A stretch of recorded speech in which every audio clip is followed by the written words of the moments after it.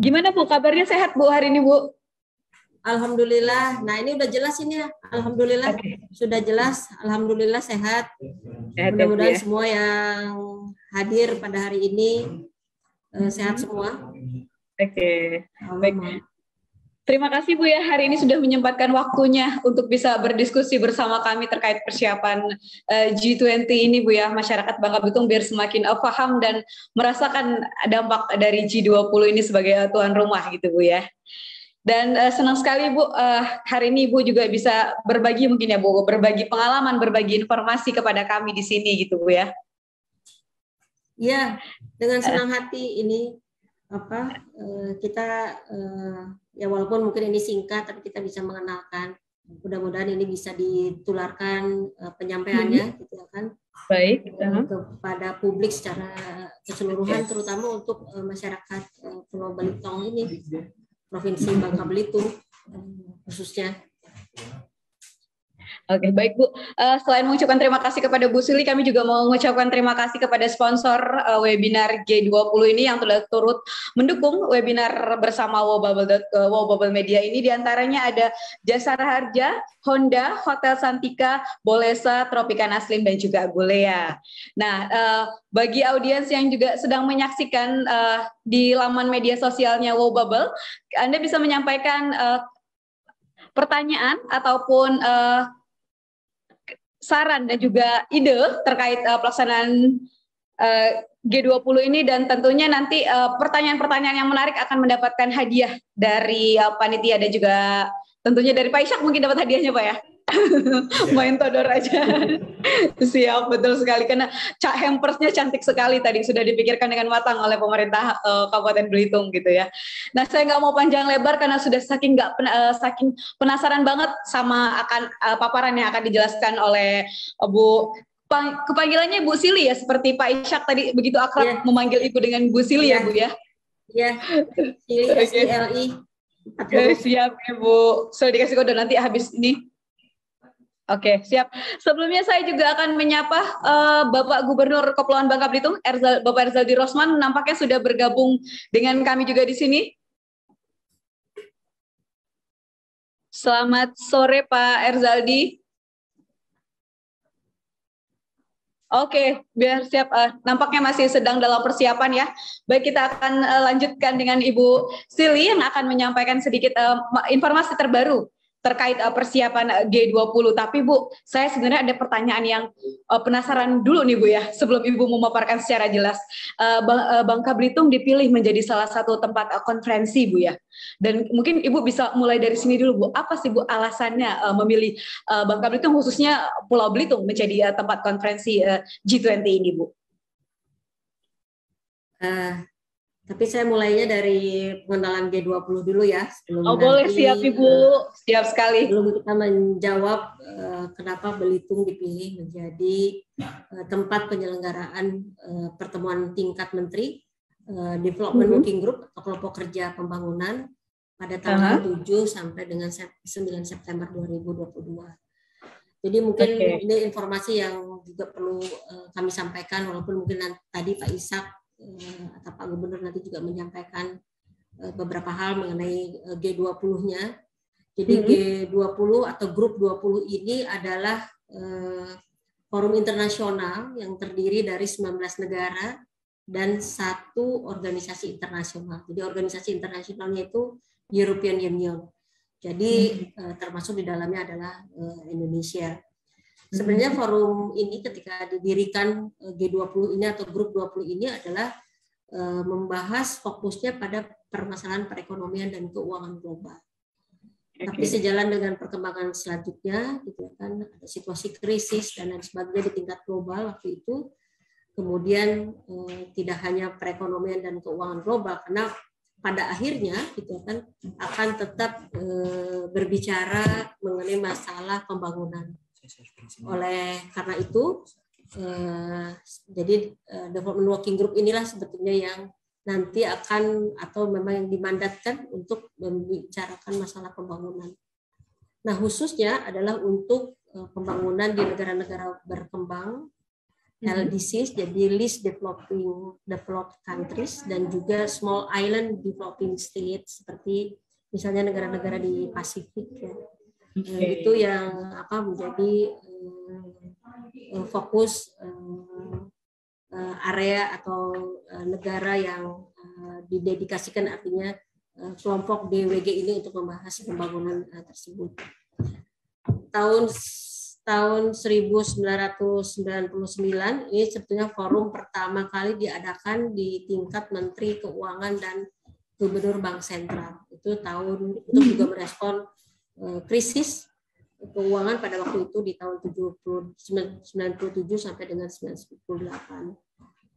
Kemudian eh, pada tahun 2008 jadi seperti eh, sebagaimana terlihat dalam screen di sini Kemudian forumnya ini ditingkatkan pada level pimpinan kepala negara, jadi waktu itu masih Menteri Keuangan dan Gubernur Bank Sentral.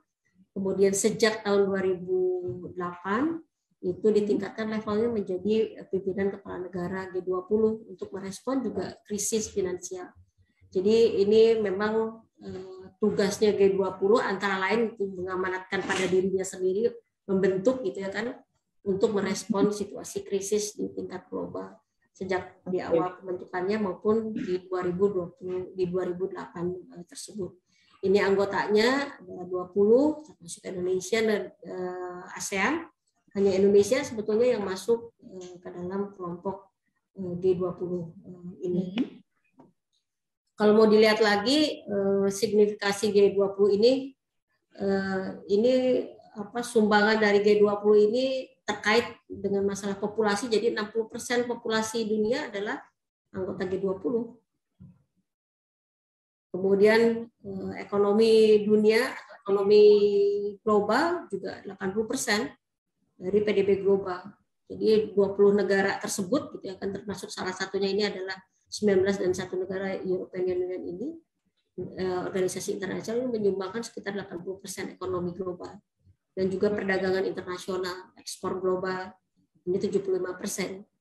Jadi kami menempatkan sebetulnya eh, G20 itu negara-negara G20 itu adalah ya mendominasi sebetulnya populasi, ekonomi dan juga perdagangan eh, dunia. Oleh karena itu kita oleh karena itu kita selalu menyampaikan ini juga mungkin perlu diketahui bahwa G20 ini merupakan memiliki posisi strategis intinya untuk bisa tadi ya eh, apa tidak hanya untuk eh, anggota G20 tetapi kontribusi kita G20 juga pada negara-negara yang lain yang tidak termasuk misalnya hanya mungkin sebagian eh, presentasinya dari baik itu dari sisi populasi, ekonomi dan juga perdagangan. Tadi Pak Isak sudah menyampaikan kita lima bulan lagi kita lima bulan lagi menuju pertemuan tingkat Menteri Pembangunan. Jadi sebetulnya eh, kita sudah mulai sebetulnya pertemuan eh, Development Working Group yang pertama ini kemarin kita lakukan di Jakarta pada hmm. bulan Februari. Kemudian pada berikutnya di DWG yang pertemuan working group eh, apa development working group yang kedua ini akan dilaksanakan kira-kira bulan Mei tanggal 23 sampai 25 Mei lokasinya di Yogyakarta. Kemudian pertemuan yang ketiga itu akan dilaksanakan di Bali pada bulan Agustus. Pertemuan tingkat menterinya ini yang di Belitung. Ini akan hadir yeah. secara fisik itu mulai dari Bali, Belitung, Bali, Belitung dan yang terakhir ini sebetulnya pertemuan yang tadi apa perubahan untuk merespon tingkat krisis sehingga di levelnya dinaikkan menjadi Eh, pertemuan tingkat kepala negara. Jadi November KTT-nya yang dihadiri oleh kepala negara seluruh negara anggota G20 itu akan dilaksanakan pada bulan November di, di Bali. Kemudian kan pertanyaannya kenapa Belitung bukan Bali, oh, iya. bukan Jakarta atau bahkan Jakarta. Jakarta sudah banyak fasilitas yang ada, jadi saya bisa tenang juga gitu, Pak Ishak ya. Eh, kalau Jakarta nggak usah cari-cari semua sudah tersedia atau Bali gitu semua sudah tersedia semua. Tapi kenapa Belitung?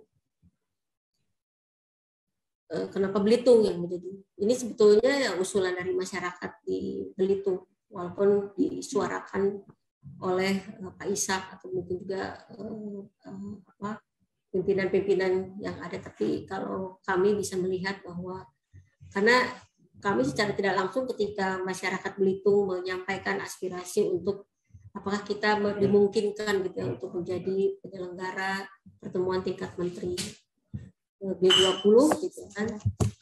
Nah, itu yang apa yang kemudian kami melihat misalnya eh, kita memperhatikan juga ya ketika mengusulkan ini adalah bagaimana kondisi eh, sosial, ekonomi, politik eh, di Belitung waktu itu gitu ya kan. Yang kita peroleh adalah angkanya positif semua Pak Pak Ishak Okay. Hmm. Ketika sudah positif, eh, positif, jadi apalagi menceritakan bahwa sekarang ini eh, masyarakat punya keinginan atau perlu didorong eh, mungkin satu satu atau dua step gitu lebih lebih cepat gitu ya kan untuk melakukan transformasi transformasi ekonomi gitu ya kan. Yang dimulai dari transformasi bagaimana sebetulnya meningkatkan pendapatan mereka gitu ya kan intinya. Tidak tidak tidak hanya melalui tambang karena sekarang ini sudah tidak ke sana lagi gitu kan. Itu salah satu kenapa kita eh, memilih eh, Belitung karena kebetulan gitu ya kan eh, kita tidak bicara dulu gitu ya sebetulnya. Tapi agenda kami adalah salah satunya adalah misalnya green economy dan blue economy prioritasnya. Ini ini ini cocok sekali gitu ya kan. Hmm. kita perhatikan itu ini cocok sekali. Yang lain-lainnya ini seperti misalnya kemarin dampak eh, pandemi, kemudian kita cek eh, merepresentasikan dan ada kemajuan sebetulnya di hmm. Belitung, walaupun ini pada tingkat level kabupaten.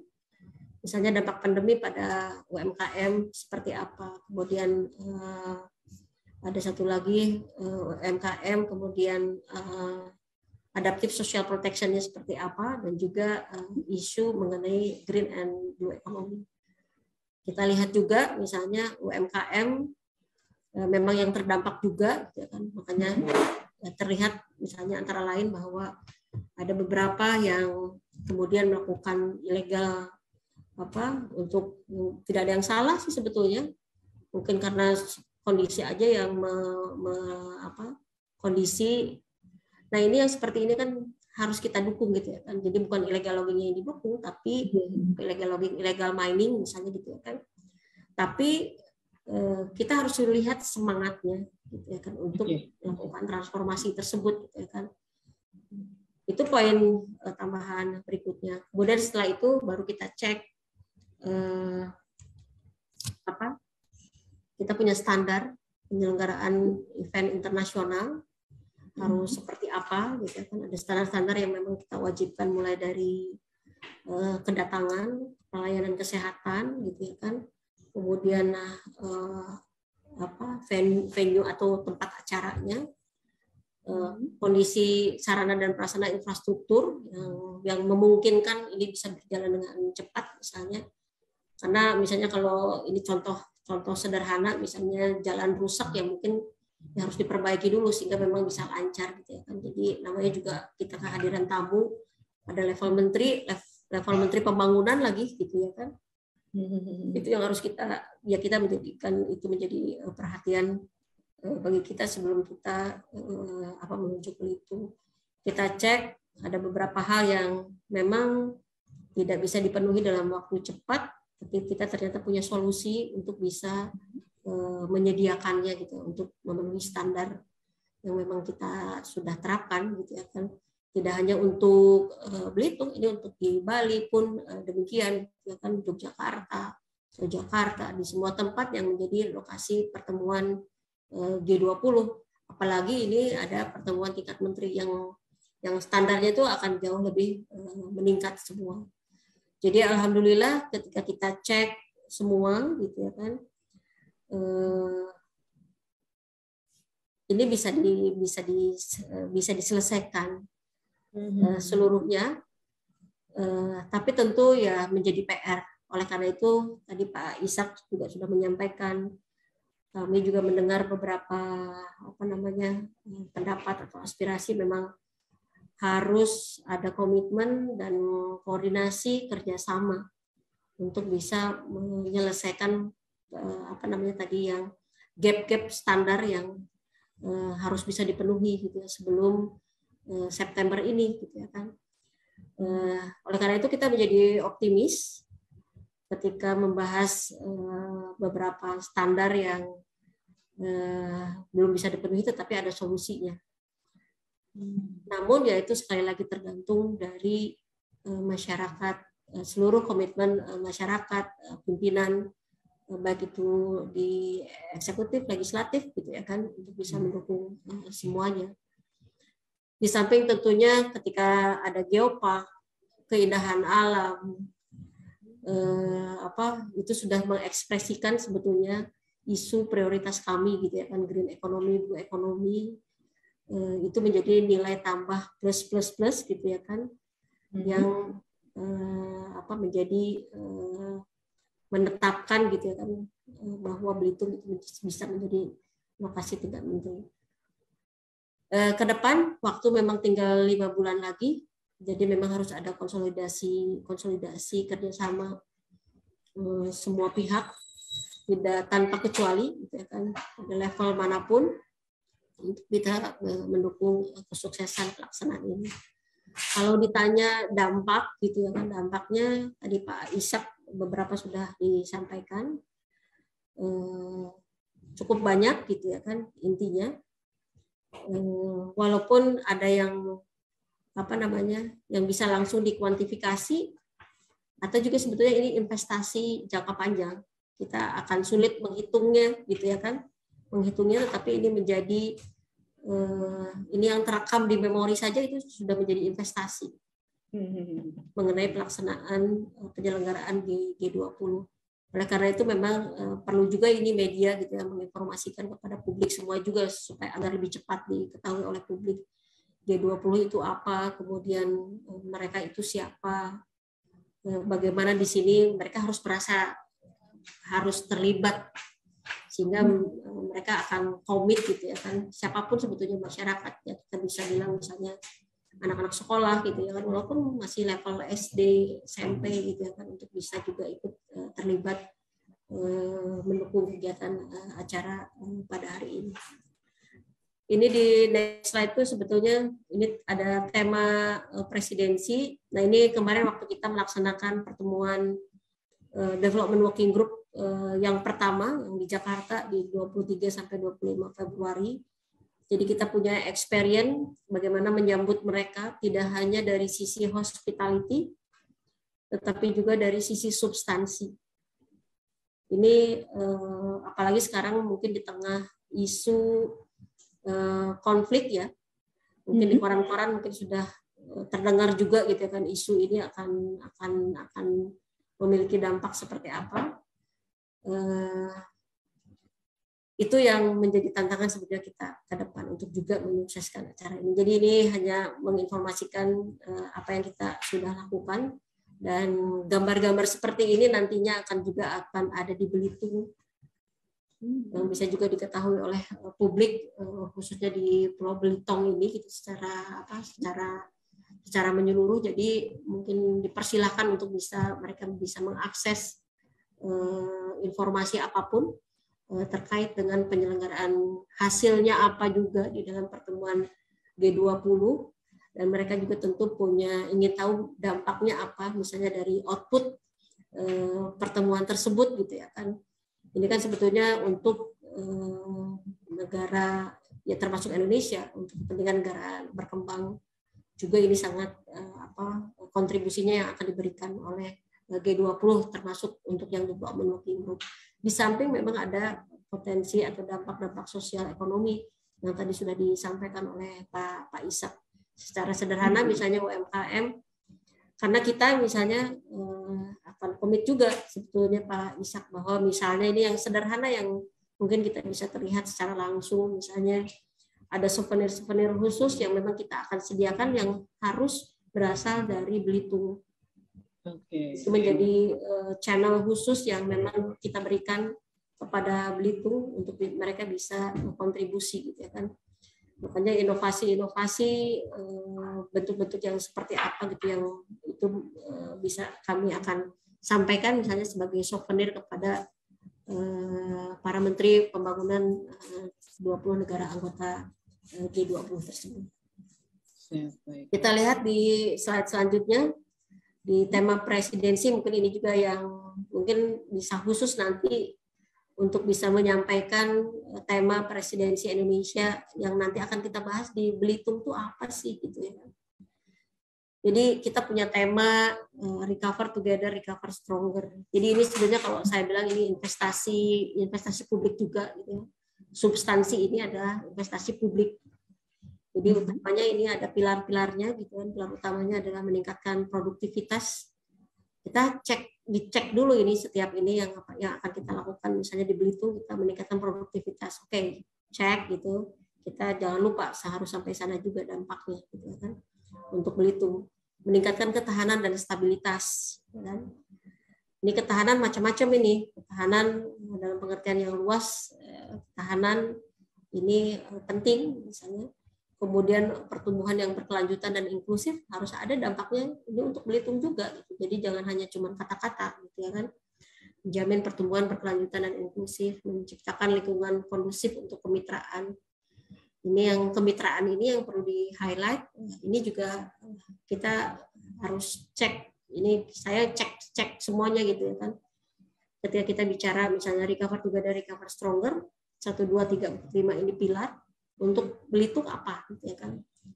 Kalau pro kalau Belitung kemudian nanti kita hitung bisa produktivitasnya akan memiliki dampak produktivitas yang tinggi lebih lebih hmm. baik dari sebelumnya.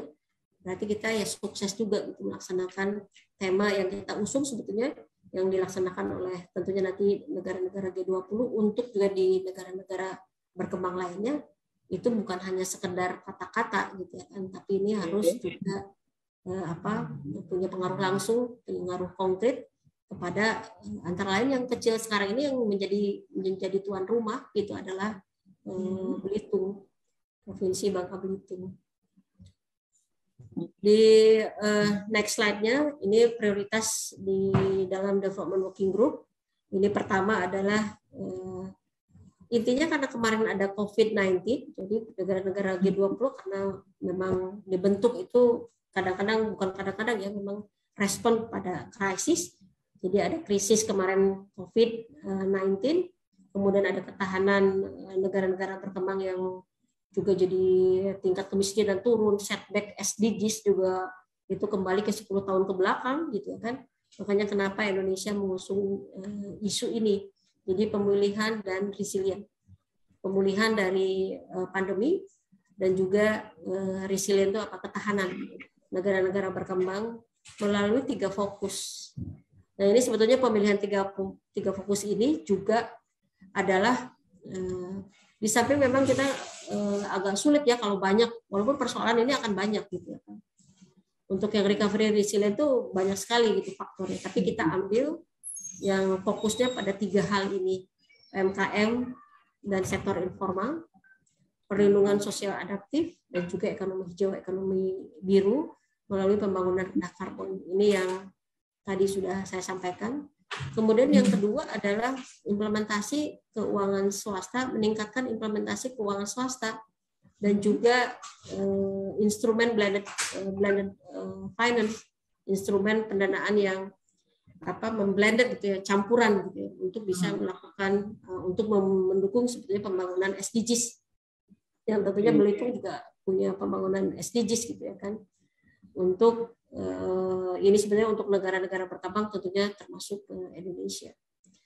Kemudian yang ketiga pertemuan apa prioritas yang ketiga adalah memperbaharui komitmen eh, global multilateralisme. Jadi eh, ketika COVID kemarin unilateralisme gitu yang muncul muncul ke permukaan di tingkat global.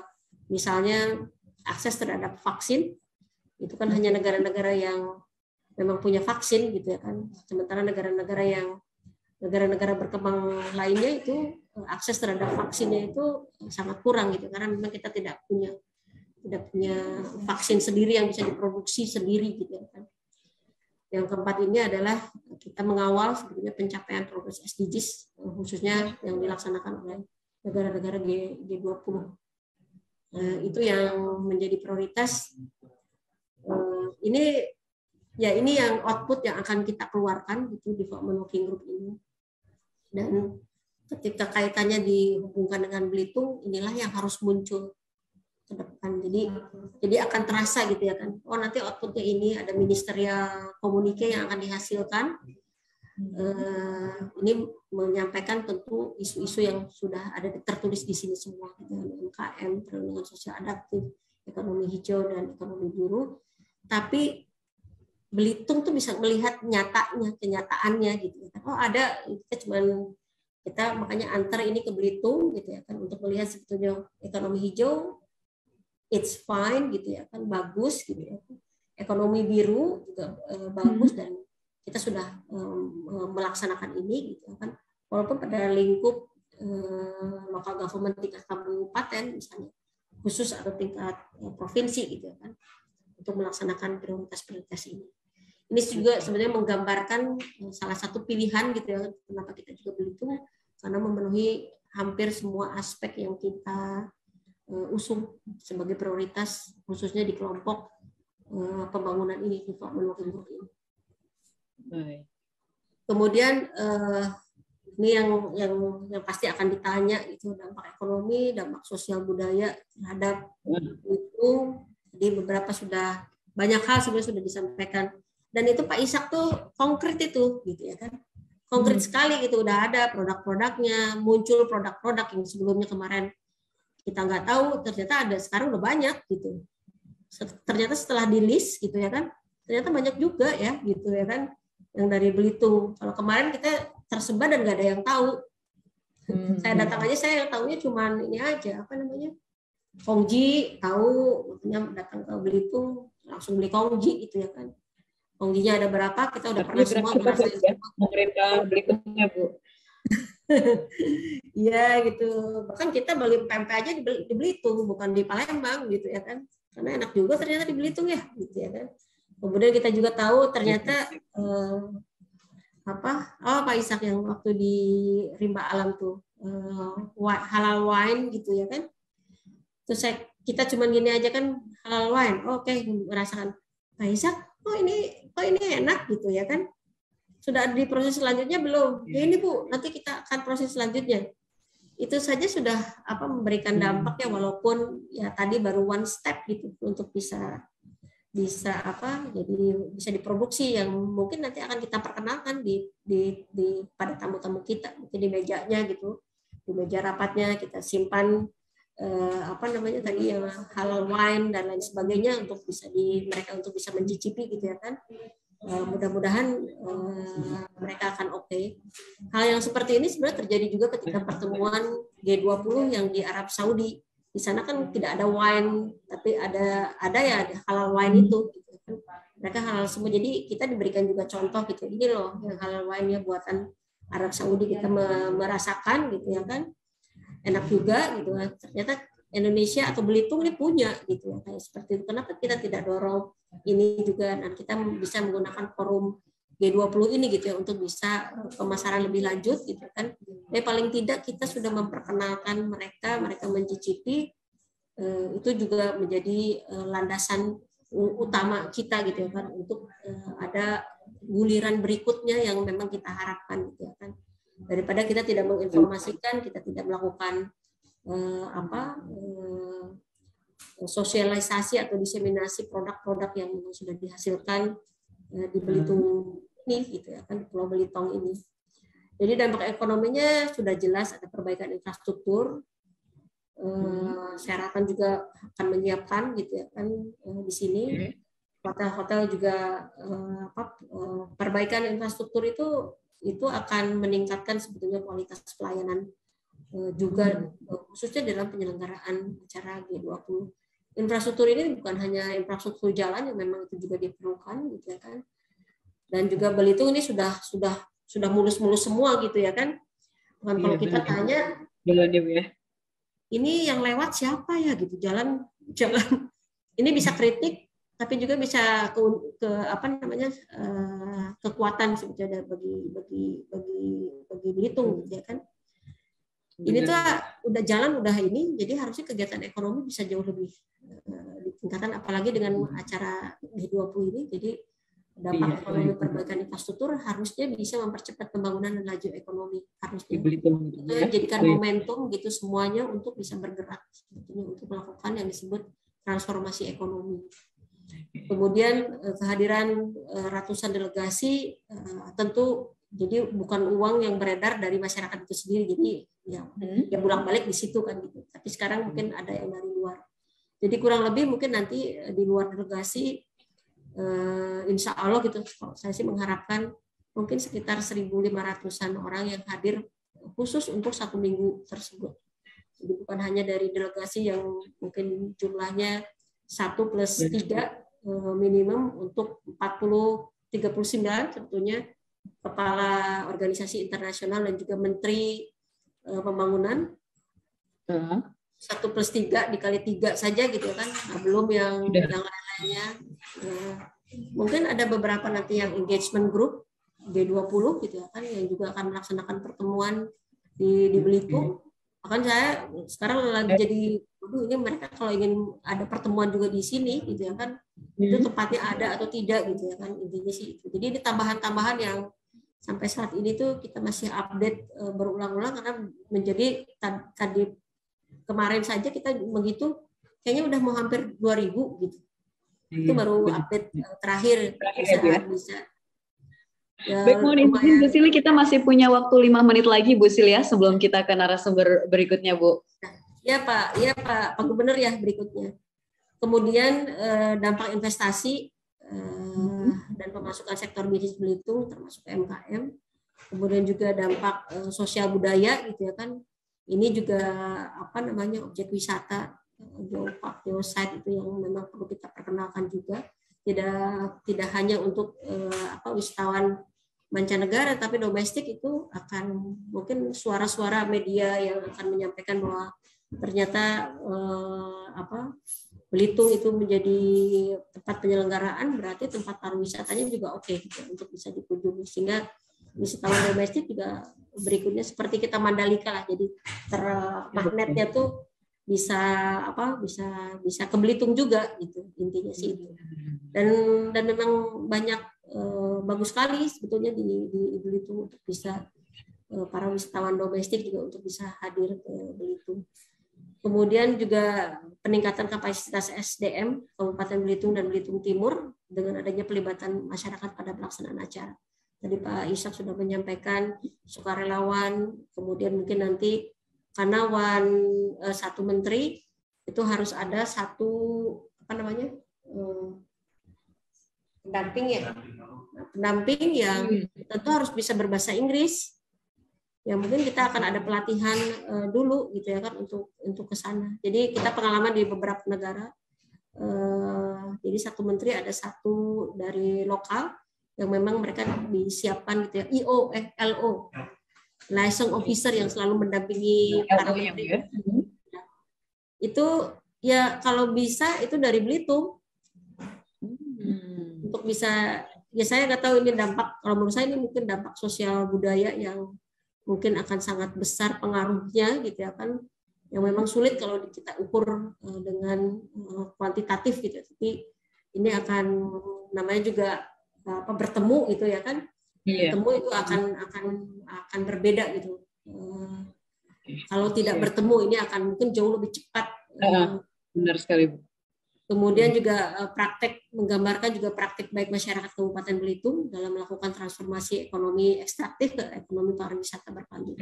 berkelanjutan. Ini yang kalau pakai bahasa-bahasa yang bagus seperti ini, ini kan ini ini ini bahasa-bahasa yang memang dikenal pada kita diskusi G20 gitu. Jadi bahasa-bahasanya seperti ini praktek baik masyarakat.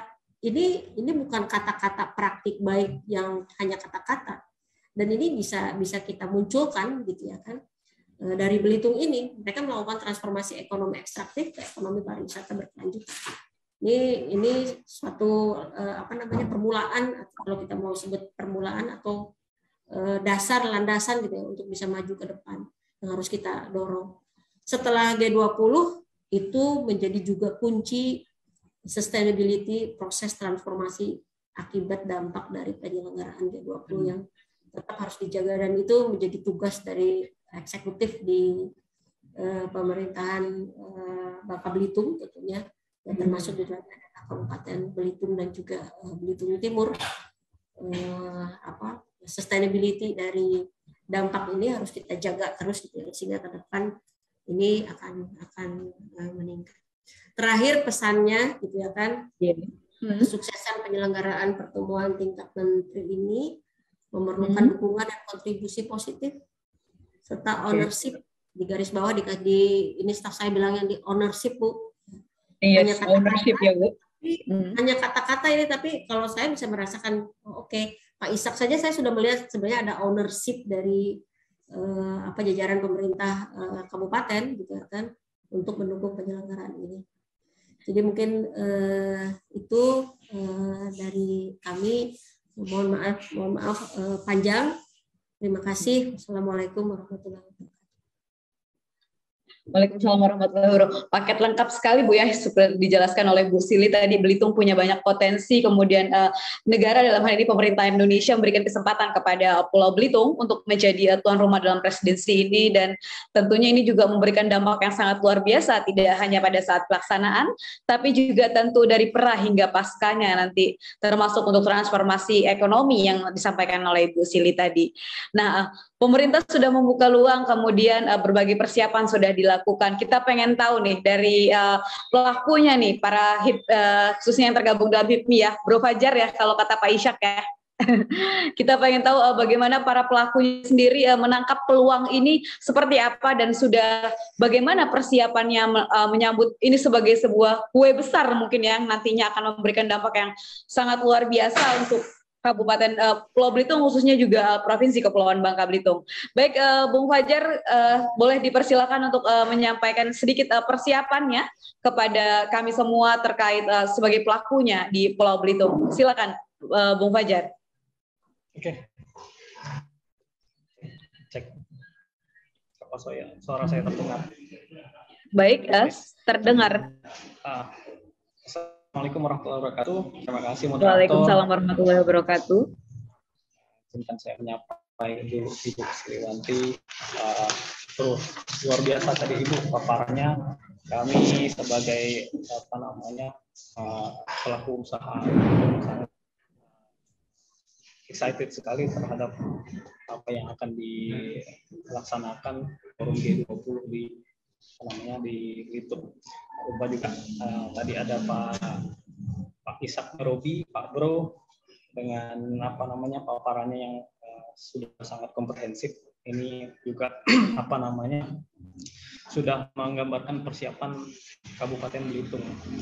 Nah, dalam beberapa kesempatan uh, sebelumnya kami juga sudah uh, apa namanya uh, dapat arahan dari Bapak Menteri Sandiaga Uno sangat berkunjung ke Belitung bahwa uh, pelaku usaha khususnya UMKM di Belitung ini harus menangkap peran dan mengambil peran terutama untuk terutama untuk persiapan G20. Bapak Bupati sendiri telah memberikan uh, sama apa namanya mandat kepada kami generasi muda terutama di HIPMI untuk mengambil peran. Jadi Bapak Bupati urusan G2G ini sudah selesai di tahapan pemerintah. Tapi yang harus kita kejar adalah anak-anak muda ini bagaimana menghubungkan B2B. Tadi yang disampaikan oleh Ibu Sriwati bahwa ada dampak ekonomi dan dampak sosial politik budaya. Nah ini yang kita berharap juga bagaimana uh, ke depan kami juga ikut terlibat dalam uh, apa namanya event G20 ini. Uh, kami alhamdulillah diberkahi uh, pemimpin-pemimpin yang visioner uh,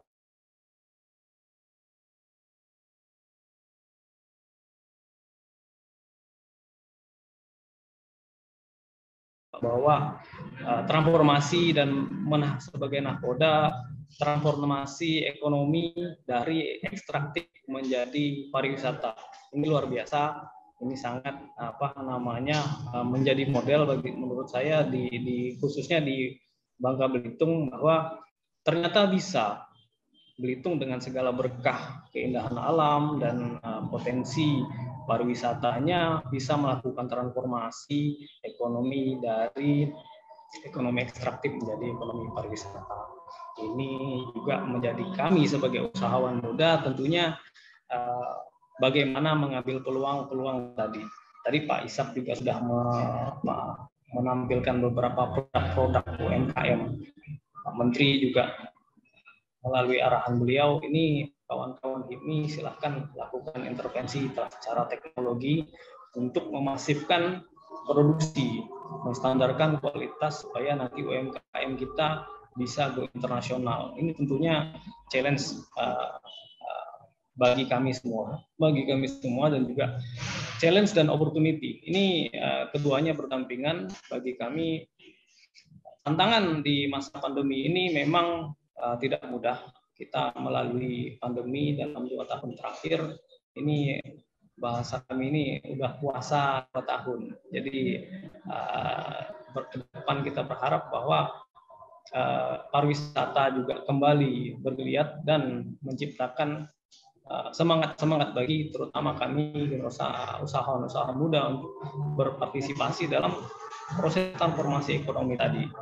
Nah, inilah yang yang menjadi suatu harapan-harapan kami ke depan terkait dengan juga G20. Ini ada satu penting. Ini penyemangat kami bahwa uh, kita menghadapi dua tahun ini kondisi pandemi bahwa uh, katanya itu usahawan apa namanya pelaut tangguh itu tidak lahir di laut yang tenang.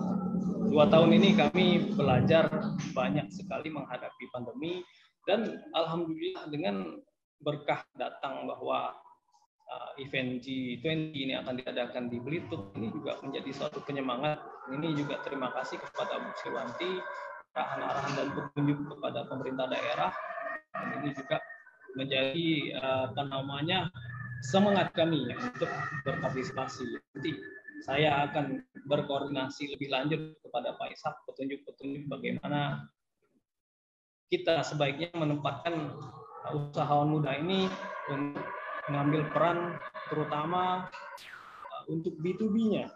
Jadi katanya G2G-nya sudah diselesaikan oleh pemerintah, kita harus ambil posisi sebagai penghubung B2B karena akan sangat banyak delegasi yang akan datang ke Belitung dan ini yang harus kita uh, lanjutkan bahwa kemudian ini dampak-dampak positif dari pelaksanaan G20 di Belitung dan Bangka Belitung khususnya ini harus kita uh, apa namanya kita tindak lanjuti.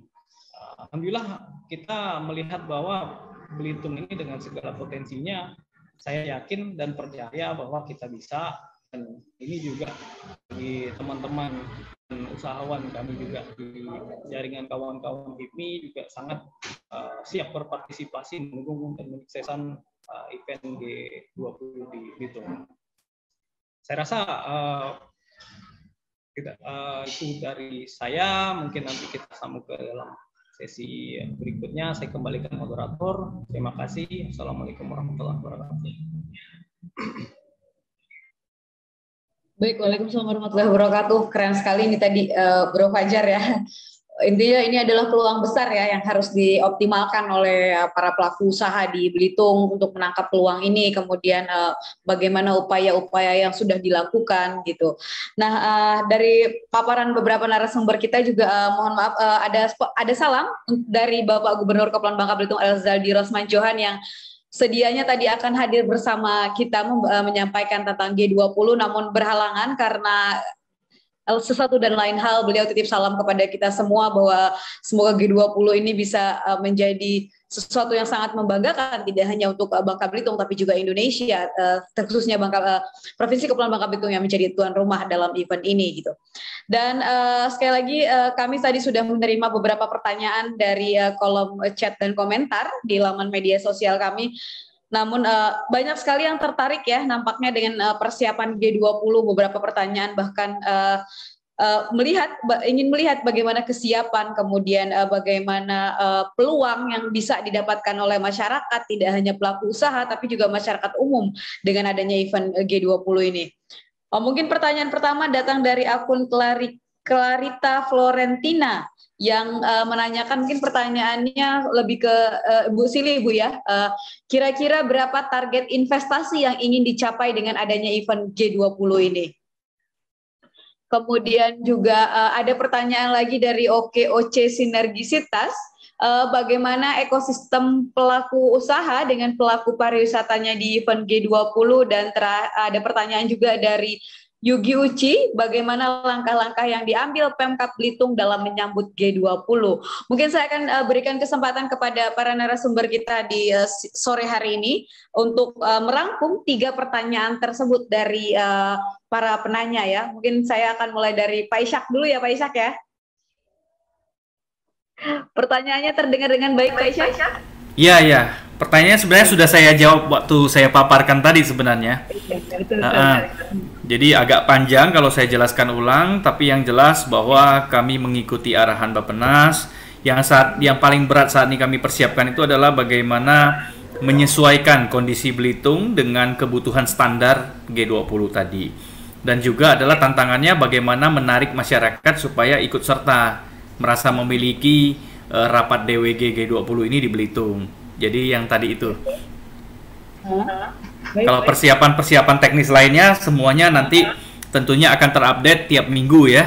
Uh, dan koordinasi beberapa pihak dengan Bappenas, dengan kementerian lainnya dan juga dengan uh, Pemprov begitu. Ya, baik, baik. Terima kasih Pak Isak. Jawabannya mungkin kita akan beralih ke sini Bu. Terkait ada berapa identitas yang dicapai dengan G20 ini Bu? Ini suaranya, suaranya double lagi. Ini dari, dari tadi tadi udah udah ada yang harus dimatikan. Tes. Tes. Oke. Okay. Uh, pertanyaan, ya, tapi mungkin saya ingin menyampaikan hal-hal seperti ini karena ini yang juga menjadi eh, apa pertanyaan semua pihak sebetulnya, terutama di di apa publik secara nasional juga pasti akan menanyakan uh, mengenai hal ini target investasi walaupun kita saat ini mungkin tidak bisa menghitung gitu ya kan berapa target investasi belum belum menghitung target investasi yang kira-kira akan kita bisa peroleh ya, misalnya gitu.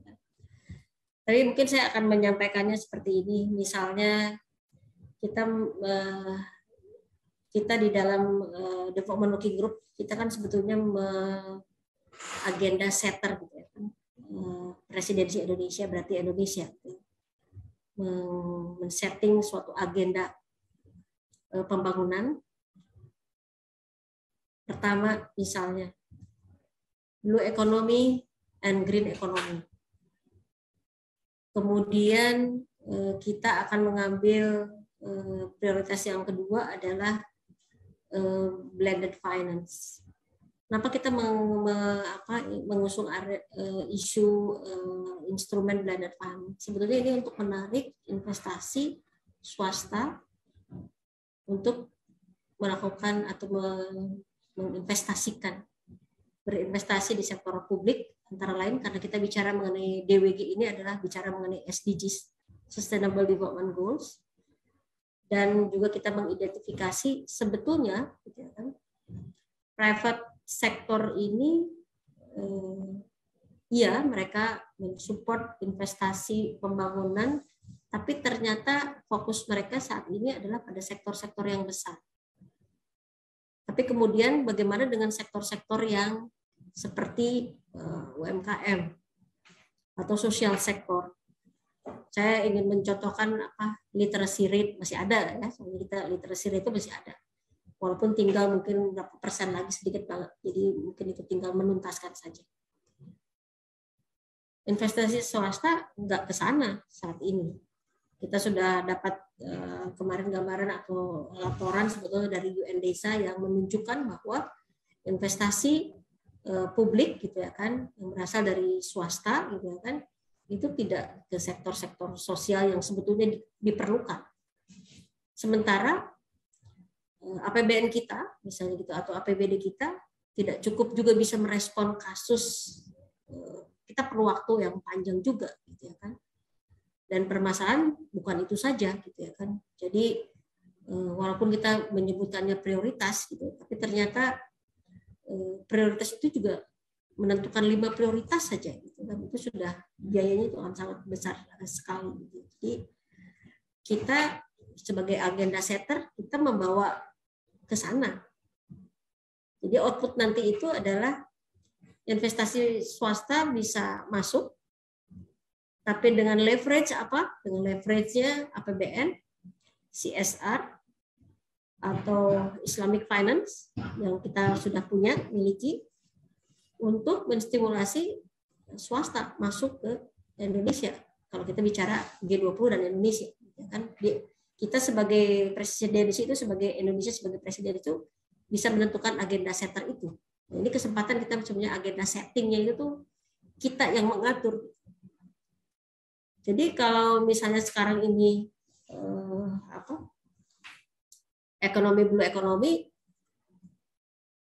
di tingkat persiapan pun sekarang udah banyak. Udah mulai banyak untuk membantu Indonesia melaksanakan roadmap transformasi ekonomi, misalnya seperti sekarang ini yang di Bali, itu transformasi ekonomi Bali. Jadi sudah ada beberapa swasta, eh, beberapa negara juga akan membantu kita. Itu juga salah satu investasi atau sumber eh, pendanaan. Apalagi misalnya dalam bentuk grant atau hibah gitu ya kan. Itu juga juga oke okay, gitu ya kan dan ini akan banyak banyak sekali gitu ya kan atau misalnya kita men, eh, agenda settingnya ini adalah kita fokuskan di UMKM